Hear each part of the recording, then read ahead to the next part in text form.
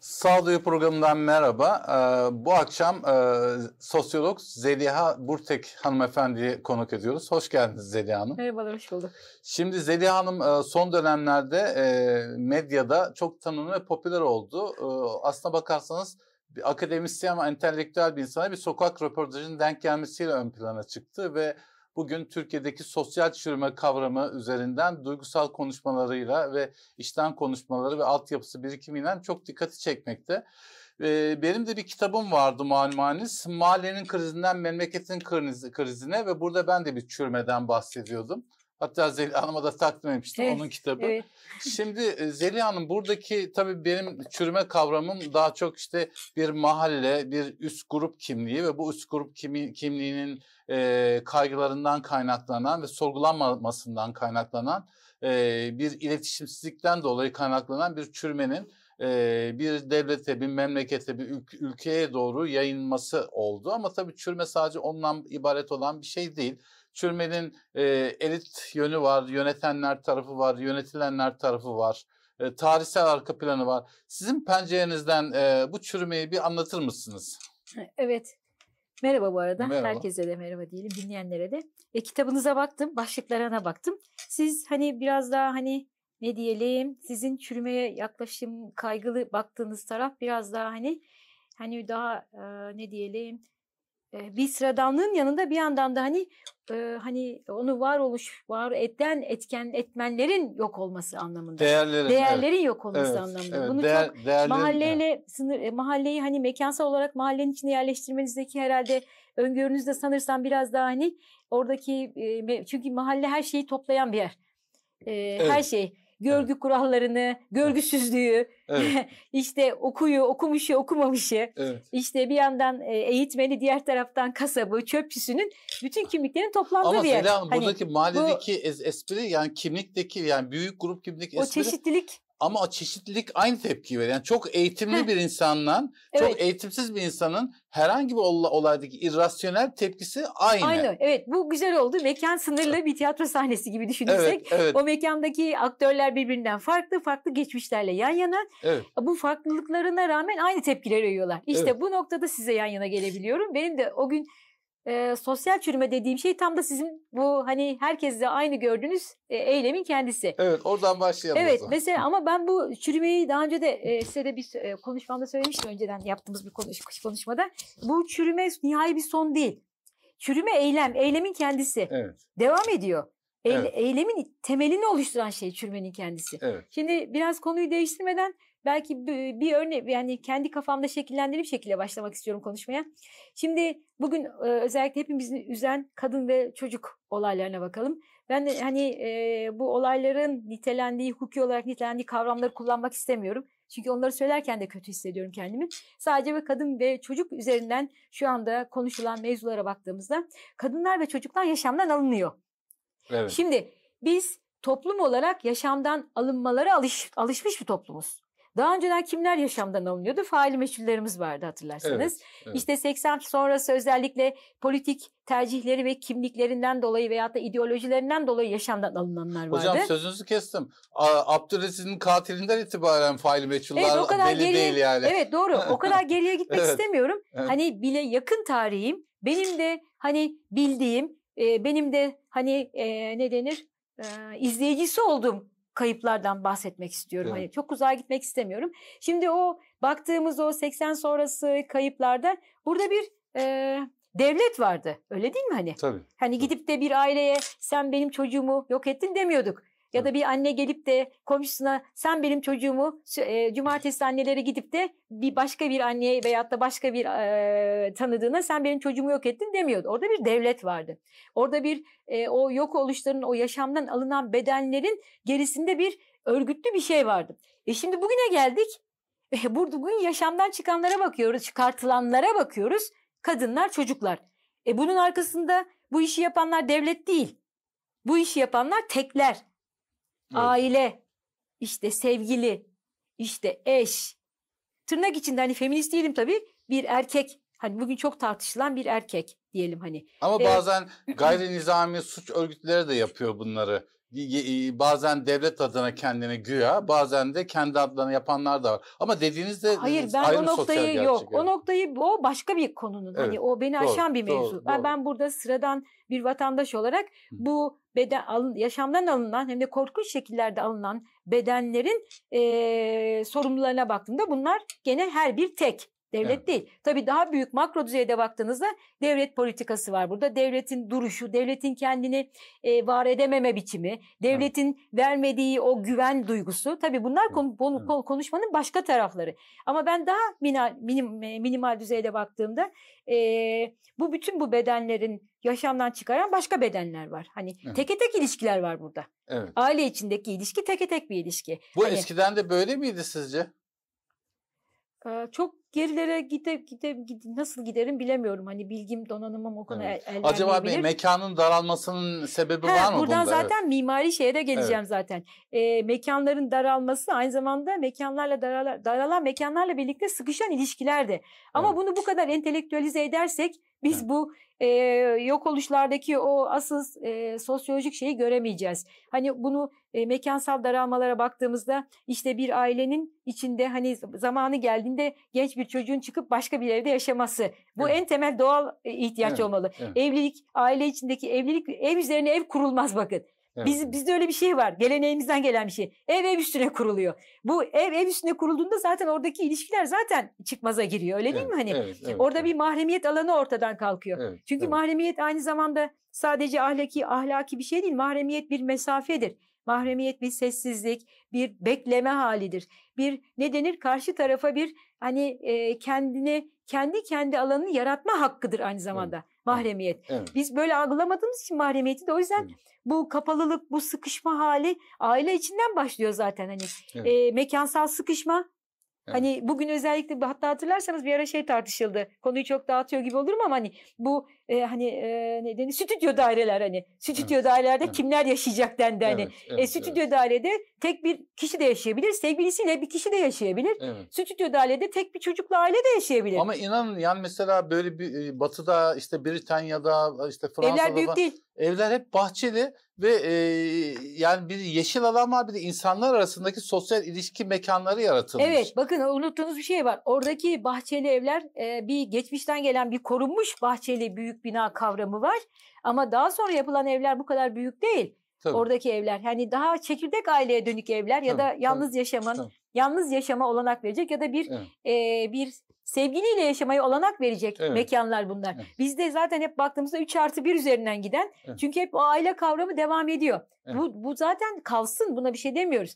Ama biz bu aileyi sadece 3 artı 1 ile mi e, şekillendiriyoruz? Hani mekanla mı şekillendiriyoruz? Evet. Ya da biz bu aileyi Hani doğuya gittiğimizde içinde bir işte hani iç avlusu olan hani tabii ki köylünün iç avlusu olan o e, büyük hani o e, köyün sahibinin aileleri yok ama gene de bir hani oda oda olan göz göz göz göz olan evet, böyle evet. daha kalabalık ailenin yaşadığı mekanlar olarak düşünüyoruz. İkisi de sorunlu baktığımızda. Evet. Birinde çekirdek aile aileyi bir şeyin mekanın içine sıkıştırıyorsunuz. Öteki tarafta da üst üste e, ev içine ev e, ocak üzerine ocak dediğimiz aileleri işte bu köy köye baktığımızda işte hep böyle bir e, Şimdi içe dönüklük. Çocuk ve kadın cinayetleri üzerinden çürümeyle ilişkiye evet, geçebilir Evet bu kadar miyiz? dağıtmadan evet şeyi meseleyi çünkü mekansal şeye de baktık burada. Bu e, çocuk ve kadın bedenlerinin yaşamdan çıkartıldığı noktada bunun sorunları tamam bunun e, faillerinin bulunması, olayların aydınlatılması noktada devlet muhakkak olmak zorunda. Tabii ki ya da e, bu çaresizlik noktalarında bu olaylar yaşanmadan da devlet varlığını gösteren. Burada çok fazla parametreler var. Bu çürüme böyle böyle bir şey işte.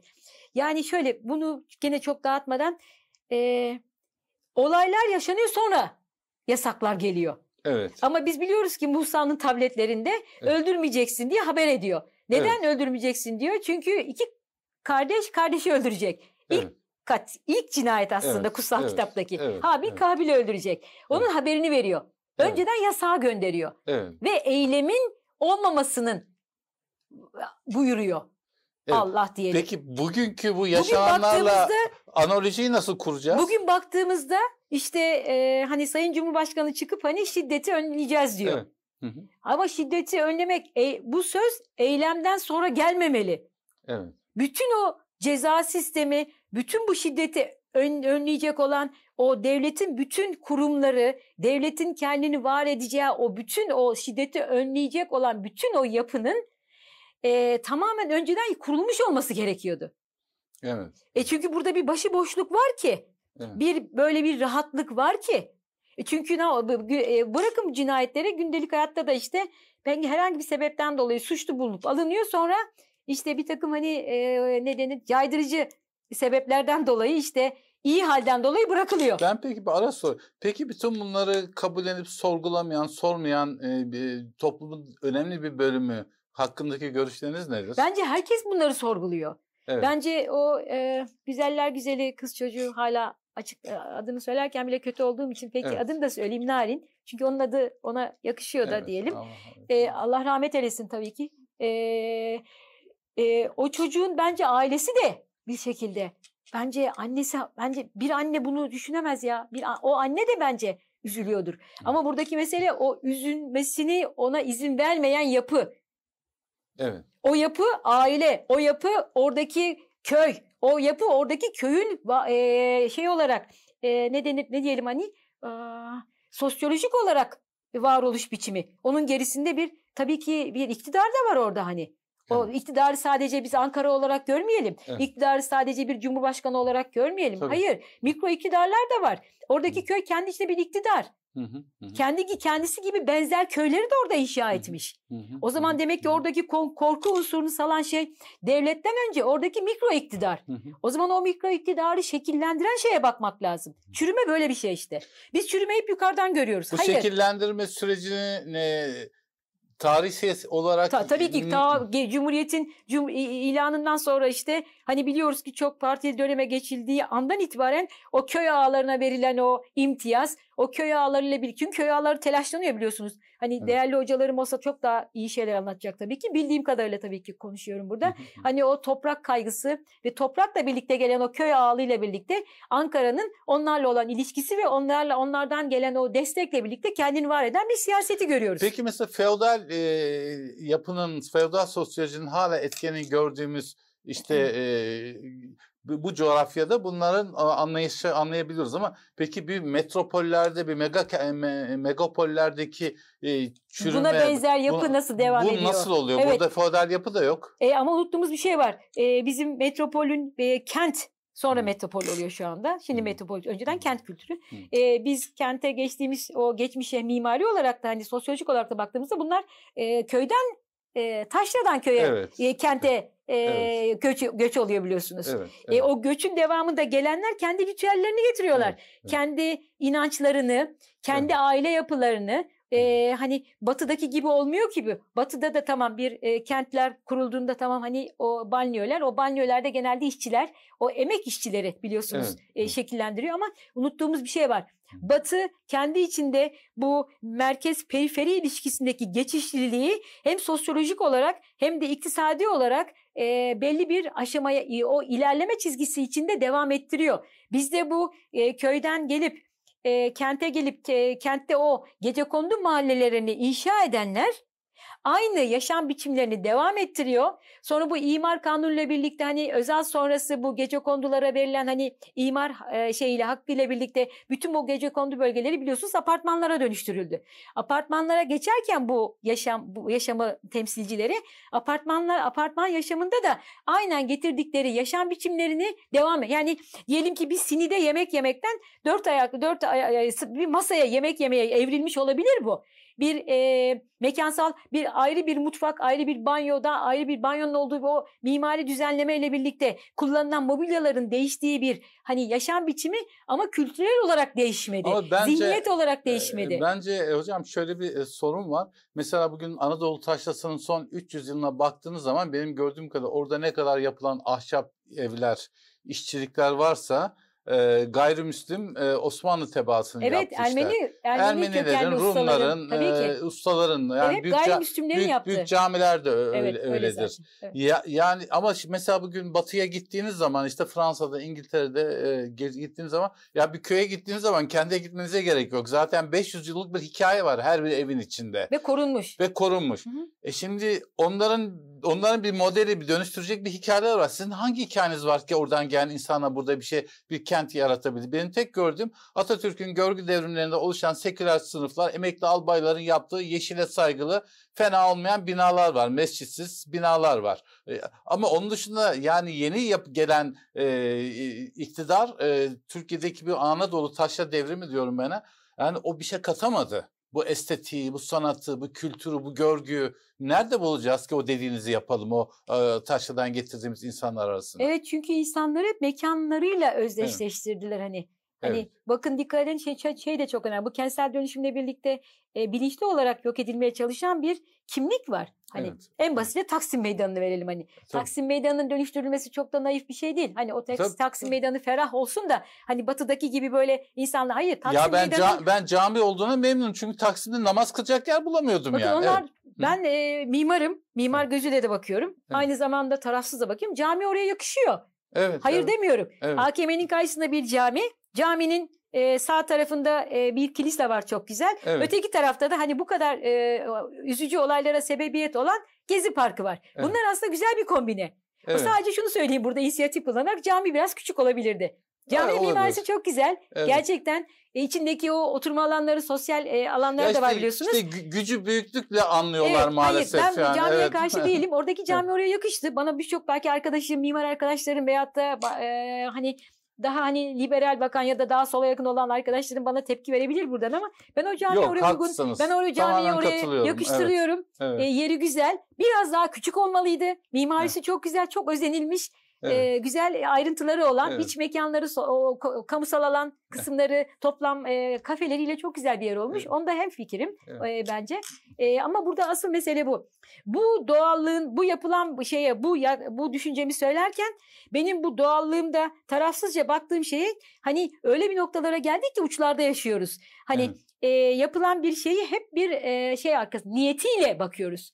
Evet. Yapılan şeyi tarafsızca eleştirmek, tarafsızca yaklaşmak yerine niyetiyle, arkasındaki niyetle önce görüyoruz. O yüzden mesela ben size baktığımda sizin bu ceketinizin güzelliği veyahut da kumaşın dokusundan değil de bu kitabı yazan Hani evet. Tarık Bey olarak o bu Tarık Bey'in ceketi olarak bakıyorum. Evet, Problem evet. bizde bu. Evet. Biz önce bunu bir yere bırak. O yüzden tekrar mikro konuyu çok dağıtmadan tekrardan yani mikroya gelmek ya istiyorum. başında yani çürüme bir e, fiildir dediniz ya. Evet. Onu biraz tekrar oraya dönebilir miyiz? Fiilin kendisi. Evet. Bu bedenler e, kadınlar ve çocuktan yaşamdan alınıyorsa buradaki e, sebep o e, gene fiillere geldiğimizde burada tırnak içinde feminist değilim tabii ki erkeğe atfedilen o rol model. Evet. Öyle değil mi? Evet. Ama diyeceksiniz ki bu rol modelin garantisi tabii ki bir devletten geliyor. Evet. Hani devlete gelinceye kadar tabii ataerkil tamam. bir toplumuz. Tamam. O ataerkil toplumu e, e, parametrelerini oluşturan şey tabii ki baş devlet değil. Daha minörden geliyoruz işte hani. O başta evet. bahsettik ya hani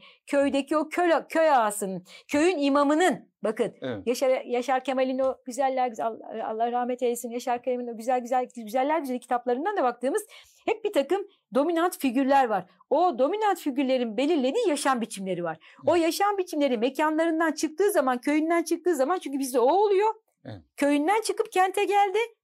Kente geldiğinde de aynı dominant figürleri beraberinde getiriyor. Ve o figürler köy ağası orada değil buraya geldiğinde ailenin reisi oluyor. Evet. Köy ağasının e, rol modelini alan bir aile reisiyle karşı karşıyayız. İşte bu köylüğün dönüşememesi oluyor bir Dönüşmeyecek. Bakım. Çünkü bundan memnunlar. Bunu dönüştürmek cesaret ister. Batı bu cesareti gösteriyor ama bu şunda ben burada... Ama hangi enstrüman, enstrüman var mı ki bunları neyle dönüştüreceksiniz? İşte o araçlar yok. O araçları verecek olan şey kurumlar. Evet. Bir devlet. Devlet kendini bu noktada var etmiyor ki. Evet. Devlet kendini çok böyle sanki ee, toprağına, milletine yabancı bir devlette şu anda geçmişinden gelen bir devletten değil. Şu anda mevcut devletten evet. bahsediyorum.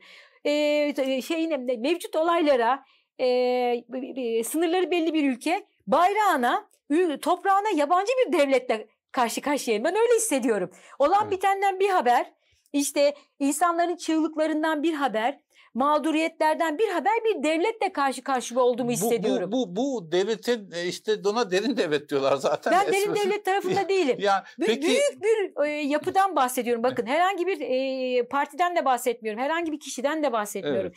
Devlet dediğim kavramdan bahsediyorum. Kendini böyle gören biraz daha hani kendini o e, steril de değil biraz daha kendini olan bitenden ayrı tutan kendi güvenliğini de şu anda sorgulayan bir devletten bahsediyorum ben. Evet.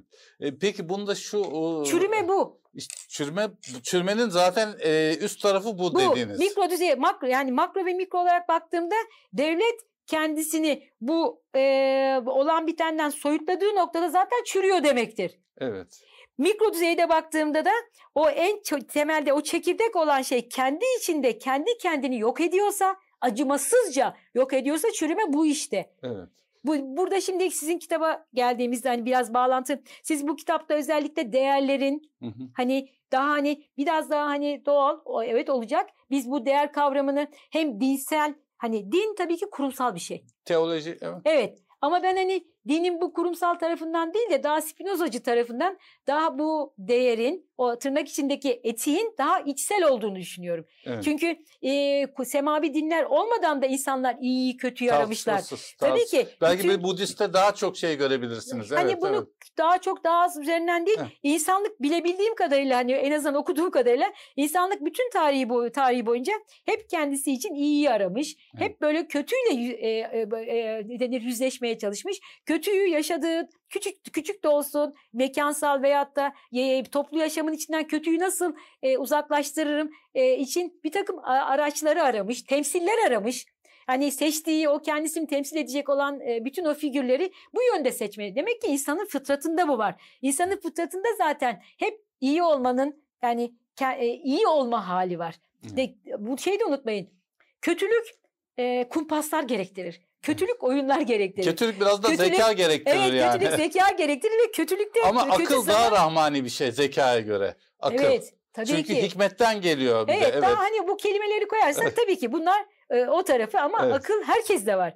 İyi ama iyi kendiliğinden olan bir şeydir bakın. İyi için e, iyi kur, kur, kurmacayla iyilik olmaz. Evet. İyi için binalar inşa etmenize, iyi için kurumlar inşa etmenize gerek yok. İyi kendiliğinden olan. Spinoza'nın dediği gibi zaten o aklın içinde o iyi var. Evet. Burada mesele aklın içindeki iyiyi biz toplu yaşama geçtiğimizde daha kurumlarıyla ve kurallarıyla bir yaşama geçtiğimizde o aklın içindeki iyi nasıl oluyor da o kurallarla ve kurumlarla kötüye dönüşüyor. İşte bunu Burada de, mesele bu. Affedersin de, demin çok güzeldiniz. Şimdi o devletin e, yani bu yaşananlara karşı e, duyarsız davranması nedeni yani bu duyguyu hissedememesi. Bu da bu da aslına bakarsanız yani devletin içindeki insanların acaba e, her zaman korunmalı olmaları ve her şeye karar verme yetkisini kendilerini ben siyasetleri kastetmiyorum. Hı hı. Bunu görmeleri ve bu ülkenin tek sahibi kendileri olduklarına inanmalarından mı kaynaklanıyor? Bu insani bir durum mu sizce? Değil, tek sahip Allah biliyoruz hani. Ben evet, de hani evet. inançlıyım tabii dönem dönem inançsız olduğumu söylüyordum tepkilerimden dolayı. evet, la ilahe Ama, illallah evet, yani. Evet. evet, içten gelen o duygu her zaman içimde var. Hani evet. kudret kudret kudret kudret kudretimiz sınırlı. Evet. Ama evet. şunu unutmamak lazım. Akıl o kudreti zamanı ve mekanı geldiğinde açıyor.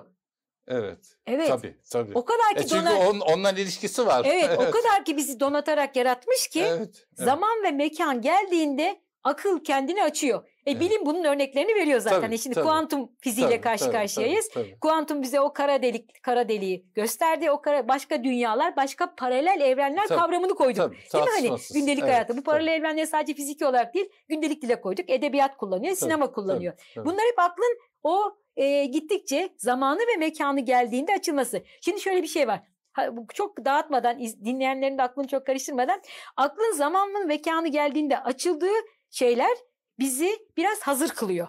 Hazırlıyor. Evet. Ama şimdi biz daha sosyolojik tarafa gelelim. Herkesin ve daha herkesin anlayacağı şekilde evet. gelelim. Evet. Biz şu anda sosyolojik olarak bu dönüşümlere yani e, bedenlerin bu suistimal edilmesine bir kadının e, kadın kimliğiyle ya da çocuk kimliğiyle yaşadıklarımıza hazırlıklı değildik.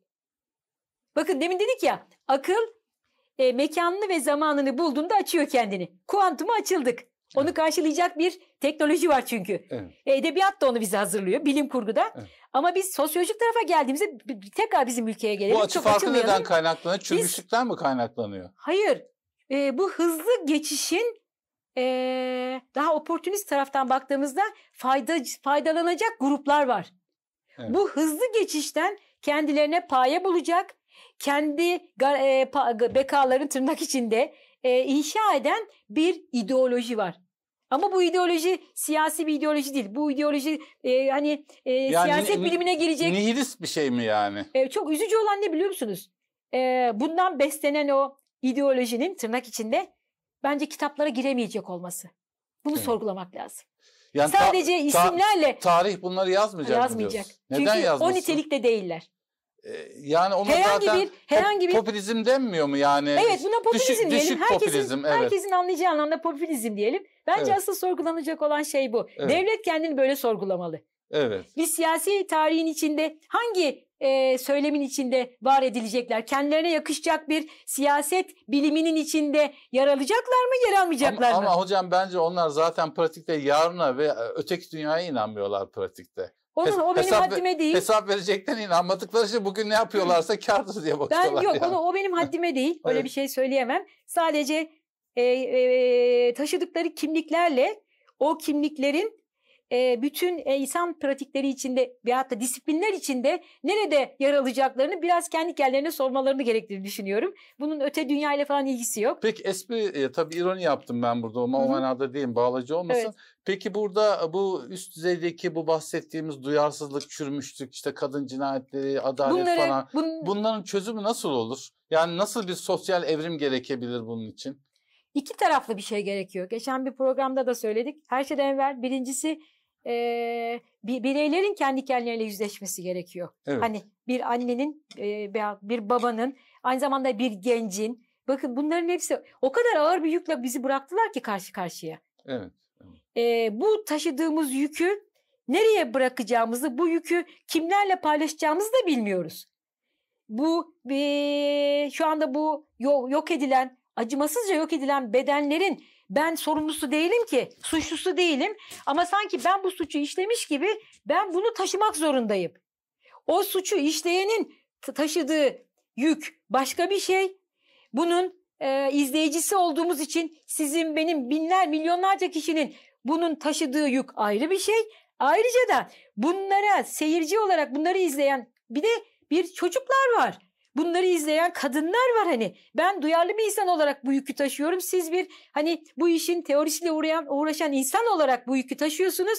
E bir de bunların kendi sıradan haliyle taşıyanları var. Bir çocuk küçücük bir çocuk e, te, evde televizyonlar çalışıyor. Çocuk, küçücük çocuğu görüyor. Bakın bir, bunlar acayip iyi. Bir de şöyle bir yaklaşım var hocam. Mesela çürüme böyle bir şey. Yani deniyor ki ya kardeşim şimdi toplumsal duyarlılık arttı. İşte bir de medya, sos, iletişim arttı. Onun için bunlardan haberimiz oluyor. Halbuki eskiden atıyorum 50 yıl önce bunlar çok daha fazlaydı. Fakat toplumsal duyarlılık yeteri kadar değildi. İletişim değildi. Böyle de bir yaklaşım Hayır, var. Bence, bence bu, çok yanlış. Bu ya. çok yanlış. İnanın ki bir şey bir yerde fazla olursa o her koşulda görünür. Sosyal medyaya da ihtiyacı yok. Evet. Siz bir mahallede bu kadar çok cinayet varsa o mahalle konuşulur. Bir evet. şekilde konuşulur. İnsanın evet. çünkü dilini bağlayamazsınız. Dilin tabii, kemiği yok. Tabii. Sosyal medya neyi sağladı biliyor musunuz? Tabii. Bu eylemleri gerçekleştirmenin araçlarını sundu insanlara. Ne, ne, ne, ne şey silah. Herkes silah taşıyor. Sosyal medya o silahın alınmasının yerlerini gösteriyor. Öyle değil mi hani evet. baktığınızda? Sosyal medya bu e, eylemlerin mekanlarına ulaşılabilmeyi, bu eylemlerin araçlarının nasıl ulaşabilirsiniz? Size eylemin biçimini, eylemin nasıl yapılabilirliğinin yollarını sundu. Peki bir de şey araya Bu gireceğim. önceden veya bu şu andaki sayıyla ilgili bir şey değil. Önceden bence ben de bu kadar olduğuna inanmıyorum. Hayır hayır. Peki mesela toplumdaki lümpenleşme, e, işte Kurtlar Vadisi modeli, mesleksizleşme, e, bu çürüme ile ilgili bir bağlantılı bir süreç mi yani ya da ahlaki değerin kaybı? yani mesleksizleşme, lümpenleşme. Yani e, ya düşünün gencecik çocuklar üye oluyorlar değişik gruplara ve ya, varlık alanları yaratıyorlar. Varlık alanları ama ölümleri yüzde 30, 40, 50 gibi ya da hapisleri daha da yüksek ihtimal. Nasıl bir mesleksiz grup ki bu cazip hale geliyor bu gençler işte için? İşte bakın o kadar çoklu bir konu ki bu. Burada Hı. hani e, psikologların konuşması gerek, gerekecek başka sosyolog arkadaşların ne bileyim işte siyaset bilimcilerin bu bahsettiğiniz anlamda demin dediniz ya hani kendilerine iş bulamayan küçücük çocukların e, eskiden biliyorsunuz meslek liseleri vardı. Tabii. Benim dönemimde de o çok kıymetliydi. Marangozlar tabii. bile oradan çıkıyordu tabii. biliyorsunuz. Tabii. Elektrikçiler tabii. oradan çıkıyordu biliyorsunuz. Tabii. Tabii. Ve çok da iyi kurumlardı.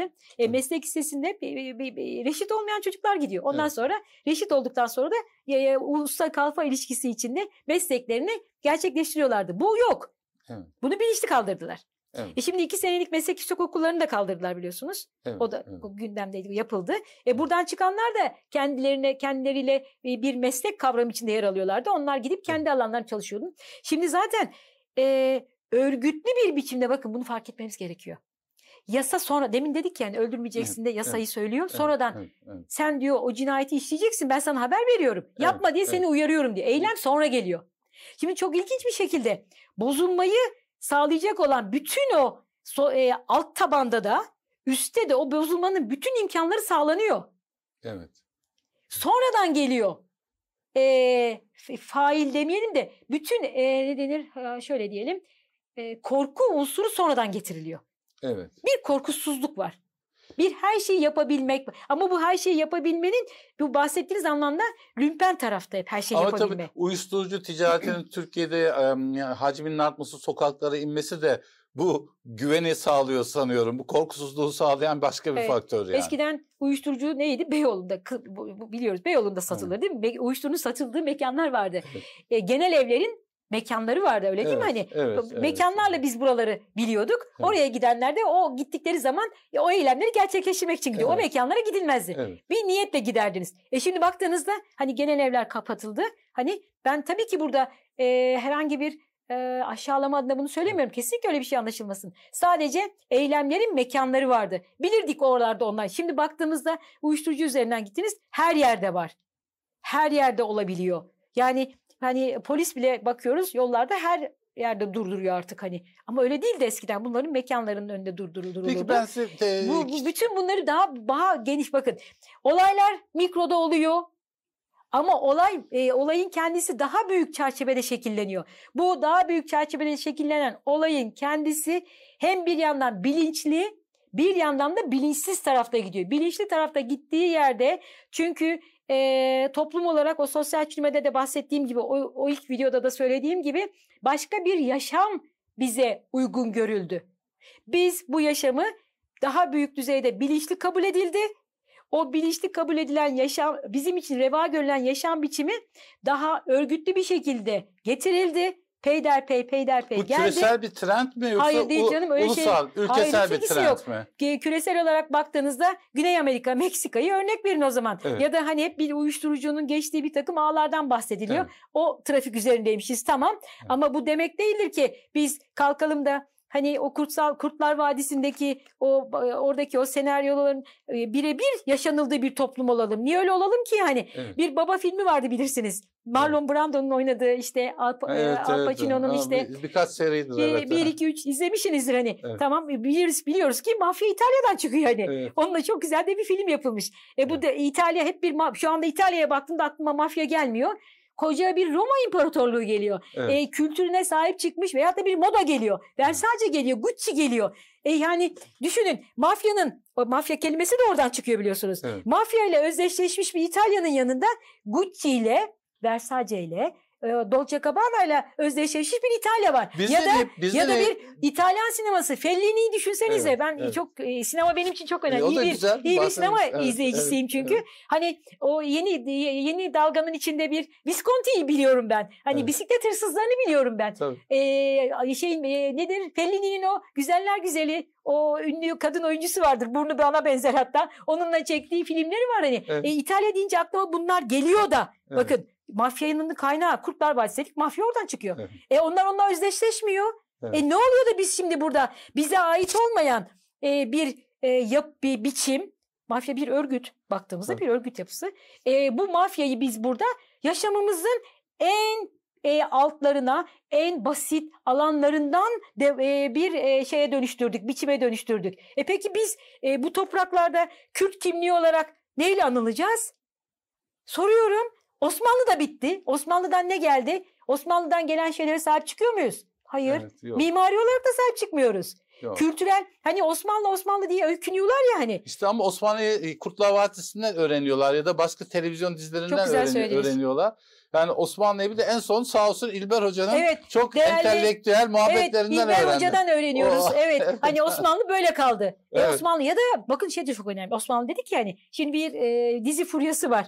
Evet. Türk tarihi, işte Türk Belgesel kimliği. mi dizi mi? Dizi diziler de evet. hani o Ertuğrul Abdülhamit falan ha, mesela. Ertuğrul evet. muydu hani Selçuklu'yu anlatan evet, hani evet, evet. E, onlara baktığımızda da onların hani ne kadarının hani e, gerçek belgeler üzerine oturduğu da soru işareti. Evet. Çünkü öyle bir resmi tarihin hani öyle güvenilir bir resmi tarih üzerine oturtulmuş bir dizi, bir kültür e, kültüre e, referanslı böyle bir dizi veyahut da bir e, sinema geleneğimiz var mı? O da sorgulanır mesela. Peki şöyle sorayım size. Mesela işte devleti, ülkeyi yönetenler size sorsalar ya Zeliha Hocam e, önerilerini şey yapalım. Ülkemizin işte uzun vadeli planlarını bunları koyalım deseler.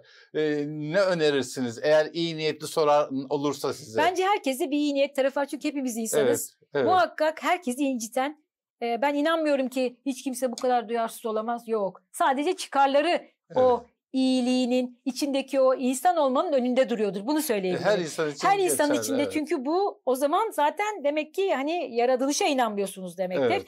Çünkü her insanın içinde bu var. Çünkü yaratılmışız. Evet. Yaratma çok inanılmaz kutsal. Evet. İnan, e, yani e, hayat yani, zaten bir evet, mucize özü, kendisi evet, yani. Evet. İnsan çünkü yaşam evet, yani. Bakın evet. o yüzden bilim adamları uğraşıyor. Evet. E, hala şeyle uğraşıyor değil evet. mi hani? Evet. E, hani doğumun sırrını hala çözmeye evet. çalışıyor hani. Evet. O veyahut da o canlılığı veren şeyi arıyor hala. Evet. Bir ben çok hayvan bakıyorum. Hayvanlar benim için çok önemli biliyorsunuz. Evet. Evet. E, bu yasa da burada gene anlıyorum. Umarım evet. e, Cumhurbaşkanı bu yasayı yeniden sorgulayacak İnşallah. ve hani e, en azından hani çünkü hepimiz ölümlüyüz. Evet. Burada bu ara bir şey atmak istiyorum. Evet. E, hani ölürken en azından hani e, bu bu kararı da e, düzelttim diyebilmeli evet. bence. Bunu evet, istiyorum kendisinden. Gelirsek, hani, gelirsek. Köye gelirsek hani o yüzden e, herkesin içinde o iyilik tarafında olduğunu evet. düşünüyorum. Çıkarlar bu iyiliğin önüne geçmiş durumda. Evet. Evet. Burada bu sorgulanmalı. Bana bunu soruyorsanız bence e, şu çıkarlarınızı e, hani çünkü hepimiz ölümlüyüz e, siz e, yetmeyecek o çıkarlarınızı görmeye. Hayata evet. Yetmeyecek. Hiçbirimiz kudretli değiliz o kadar.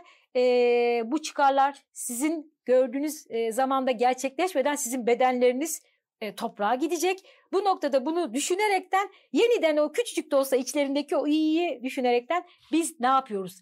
Ben ne yapıyorum o? Hem ben hem de iktidarın kendisi de ben ne yapıyorum bu, sorgulaması bunu, bunu lazım. vicdanla kendi vicdanlarının mı onlara söylemesi lazım yoksa yakınlarındakilerin mi onlara söylemesi lazım? Ha şunu lazım? söyleyebilirim buraya geldi. Konular çok dağılmış olabilir izleyicilerin kafası Olsun, biraz. Akın, Ama ben hani gene, evet. gene de hani hep e, en sıradan halimizle yaklaştığımızı Tabii. düşünüyorum. Şunu söyleyeceğim. Meclise yönelerek söylüyorum. Hepsinin bir ailesi var. Tabii. Eve gittiklerinde onlara yeme bir aile ortamında çoluğu çocuğuyla eşleriyle birlikte. Evet. Kadınlar için de söylüyorum erkekler için de çünkü mecliste evet. kadınlar da var. Evet. Eve gittiklerinde hiç mi konuşulmuyor diye soruyorum kendilerine. Ya bu olan bitenleri konuşurken siz orada nasıl koltuklarınızda oturuyorsunuz diye hiç mi birbirlerine sormuyorlar? Evet. Bunu soruyorum kendilerine. Evet. O çocuklar inanılmaz korkunç şeyler o çocuklara reva görülürken eve gittiğinizde siz başka bir televizyon mu izliyorsunuz? Siz başka konuları mı konuşuyorsunuz? Tam tersi sizler temsilciler olarak eve gittiğinizde zaten konunuz bu. Şunu da söyleyeyim. Ee, öyle bir siyaset bilimi geçmişleri de yok. Hani oturup da ben bunu burada söyleme hakkını kendimde buluyorum. Hani çoğunun öyle bir entelektüel geçmişi de yok. Bunu da burada söyleme hakkımı kendimde buluyorum. Sadakat için o gerekiyor zaten. Evet, eve gidip de işte bu sinema olmuş ya, şu sinemada bu var. Ya da şu kitap çıkmış, şu kitaptan. Ben öyle bir ortam olduğunu düşünmüyorum. Evet. Bunu söyleme hakkını kendimde buluyorum. Evet. Bu da benim içimi acıtıyor. Ama Beni buna, temsil ama, edenlerin, bakın ama, bir ülkeyi temsil edenlerin her şeyden evvel vicdanı, iyiliği bir yere bırakın. Öyle bir kültürel geçmişi, siyaset bilimi olsun, e, sanat olsun, sosyoloji olsun, e, fen bilimleri olsun. Böyle bir geçmişiyle olmasa da o sandalyede oturuyor olması gerekiyor. Ama o sandalyede oturan adaylar onlardan olsa onlara da halk oy vermiyor. Yo verir. Verir, verir mi diyorsunuz? Verir. Emin değilim. Ben e, e, insan kaptaki bir e, sıvı gibi. Evet. Siz alttaki etraftaki soğuğu, ış, sıcaklığı ayarlamanıza göre o içinde biçim alıyor. Biz evet. öyle bir yaratılıştayız. Evet. Siz soğuğu ve sıcağı eğer ki çok uçlara taşırsanız içteki şey tabii ki hızla değişir. Hızla bir, bir, bir dönüşür. Çürüme böyle bir şey. Çünkü etraftaki o soğuk ve sıcak hızla değiştiriliyor. Bir anda sert bir kış, bir anda sert bir e, sıcak oluyor. Bu gerilimde duran bir insana dönüştürüldük bu coğrafyada. Evet. evet. Bunun sorumluları mikro düzeyde gene geldiğimizde tabii ki o köyün ağası, evet. tabii ki oradaki imam, tabii ki o taşralılıktan gelen o değişe değişti. Bırak, bakın bunları bırakmak istemiyoruz. Şöyle bir paradoks var. Biz batıya döndüğümüzde oradan aldığımız kıyafetleri giyiyoruz ama bize uymuyor. Evet. Çünkü ona hazır değiliz. Hiç de hazır olmadık. Evet. Ama sanat hazır. Evet. Sanat bunu güzel yaptı. İlk evet. yapan edebiyatçılar. Evet. Edebiyat bunu evet. çok güzel yapıyor. Evet. Kesinlikle her zaman saygı duyduğum evet. bir alan. Evet. Zaten bir şey de unutmayın. Nietzsche de e, dünyaya tahammül etmenin araç, aracı olarak sanatı görmüştür. Evet. 20. yüzyıldaki en önemli düşünce akımlarından Frankfurt Okulu da bakın Marksist ve hem Yahudi hem Marksistlerdir. Aynı zamanda e, esini ve e, o kurtarıcı olan şeyi sanatta görüyorlar. Sanatı tartışıyorlar. Yani, Newton şey diyor hatta Dan Acemoğlu onun şeyinden kitabından ön sözünü evet.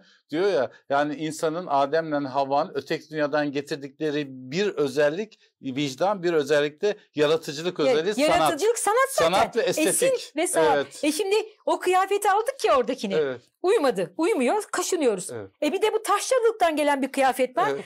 O kıyafet kaşınmayı bırakın. O kıyafet patlıyor. Evet. Siz hani tel hani dikişte hani patlak yeri yama yapıyorsunuz ya yama yapılıyor üstüne gene yama yap yamalı bir bohçaya döndü. Bir taraftan temiz bir kıyafet geliyor evet. markalı evet. evet markalı hepsi gelenler yüzümüz o tarafa dönmüş batıya markalı geliyor o bize uymuyor. Evet. Biraz Öteki taraftan son, da yamalı bohça geliyor. E, son cümlelerimizi şey yapalım. E, benim neden? hani burada çok daha öznel, çok daha insana dair olan hallerden konuştuk. Çok da e, teşekkür ederim bu Rica imkanı yarattınız. Teşekkürler. Benim tek isteğim gerçekten en sıradan, en herkes gibi bir kadın olarak da kadınım çünkü. Aynı zamanda inançlı bir kadınım. Bunun da altını çizeyim burada. Eyvallah. Tek isteğim hani biz burada yaşıyoruz. Ömrümüz sınırlı. Keşke ölümsüz olsaydık değil. Bu küçücük sınırlı yaşamda gerçekten tek istediğim çünkü ben iktidar olamam. Hiç siz de iktidar olamazsınız. Eğer bir iktidardan bahsediyorsak, bir devlet kavramından bahs devletten bahsediyorsak yeniden bir kendilerine dönüp önce bana bize diyorlar ya biz hayır bir de onlar aynayı kendilerine döndürsünler. Çünkü onlar da burada varlar. E biz yoksak onlar olmayacak. Bunu bir düşünsünler. Biz yoksak ve te, e, seçmenlere güveniyorlarsa bile o seçmenler onların istediği e, düzlemde durmazsa onlar da var olamayacaklar. Evet. Çünkü insan kontrolsüz bir varlıktır. Evet. Eğer siz hukuku, eğer siz tırnak içinde dini de bir insana yaraşır halde e, inşa edemiyorsanız orada siz o insanı kontrol edemezsiniz. Biz şu anda o sınırdayız. Bir kontrol edilememezlik sınırındayız. Evet. Bunun düşünmeleri gerekiyor. Evet. Çok sağ olun. Teşekkür ben teşekkür ederim. ederim. Evet. Hani e, umarım herkes o yaratma ve esinden bahsettik. Yaratma ve esin aynı zamanda Allah'tan gelen bir şey bu. Çünkü o yaratıyor. Evet. Güzeller güzeli kainatı yaratıyor. Bu, bu küçük bir şey söylemek istiyorum. Buyurun. E, hep bir hani tekrar bu konulara geliyoruz ama bunun imkanını buldum. Hep bir Allah Allah, Allah hani çok konuşuluyor hani kutsal kitap. Hani Allah sadece Adem ve Havva değil. Allah'ın özü yaratmak. Hep geçenlerde e, bir, birisi bir çifte onu sormuştum. Siz e, ve hani bu türbanlı bir arkadaşımız yanında da bir arkadaşıyla oturuyordu. Şunu e, konuşma açıldı. Ben de dedim ki peki size şunu soruyorum. Siz hep yaratma eylemi olarak Adem ve Havva üzerinden ya da bir kadın erkek ve kadın erkekle birlikte ki, devamlı gelen bir cinsellik. Hayır. Siz hiç kainatı yaratan Allah'ın bir e, o güzeller güzeli kainatın yaratıldığının o hani gökyüzünün haritasına baktınız mı? Bir siz o Satürn'ün zıtlıklar, zıtlıklar Evet, siz o Satürn'ün güzeller güzeli halkalarına baktınız mı hiç? Siz güneş sistemindeki o e, bütün o kainatı gösteren o ko- koca insan yapımı o dürbünlerle, e, teleskoplarla o fotoğrafları gördünüz mü?